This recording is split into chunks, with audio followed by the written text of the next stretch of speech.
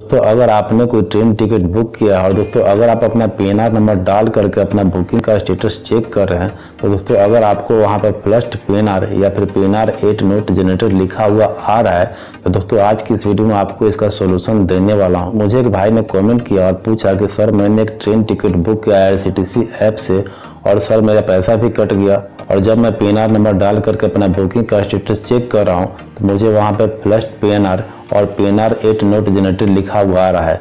तो सर मुझे इसका सोल्यूशन बताएँ। तो चलिए फ्रेंड्स आज के इस वीडियो में हम जानते हैं कि इसका सोल्यूशन क्या है। नमस्कार दोस्तों, मेरा नाम है अमित। आप सभी का स्वागत है हमारे चैनल टेक मास्टर ग्रुप में। दोस्तों वीडियो अच्छी लगे तो लाइक करें दोस्तों को शेयर करें।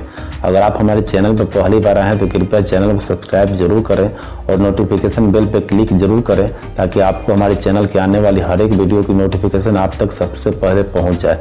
तो चलिए फ्रेंड्स आज की इस वीडियो हम जानते हैं कि इसका सोल्यूशन क्या है। दोस्तों, मैंने भी एक बार ट्रेन टिकट बुक किया था और दोस्तों, जब मैं अपना पीएनआर नंबर डाल करके अपना बुकिंग का स्टेटस चेक कर रहा था तो मुझे भी वहाँ पर फ्लस्ट पी और पीएनआर एट नोट जनरेटर लिखा हुआ आ रहा था। तो दोस्तों, उस स्थिति में मैंने क्या किया कि मैं आई की वेबसाइट पे गया और दोस्तों, वहाँ पर मैंने मेल किया और कांटेक्ट करने की कोशिश किया। और दोस्तों, मैं आई की वेबसाइट पर मैंने जाकर मेल किया तो दोस्तों, मुझे वहाँ से पता चला कि ये एक टेक्निकल इशू है, इसमें कोई घबराने की बात नहीं है।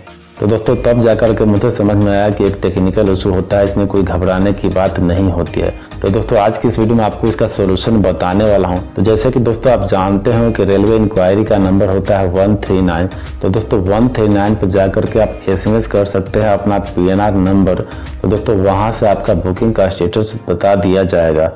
तो दोस्तों, इस तरह से चाहें तो बुकिंग का स्टेटस आसानी से आप जान सकते हैं। दोस्तों, इसमें कोई घबराने की बात नहीं होती है। यह एक टेक्निकल इशू होता है, जो कि कुछ समय के बाद ये ठीक हो जाता है। तो दोस्तों, मैं उम्मीद करता हूँ कि आप जान चुके हैं कि जब फ्लस्ट पीनार या फिर पीनार नोट एरिजिनेटर लिखा हुआ आता है तो दोस्तों, इसका सोल्यूशन क्या होता है। दोस्तों, वीडियो अच्छी लगी हो तो लाइक करें, दोस्तों को शेयर करें।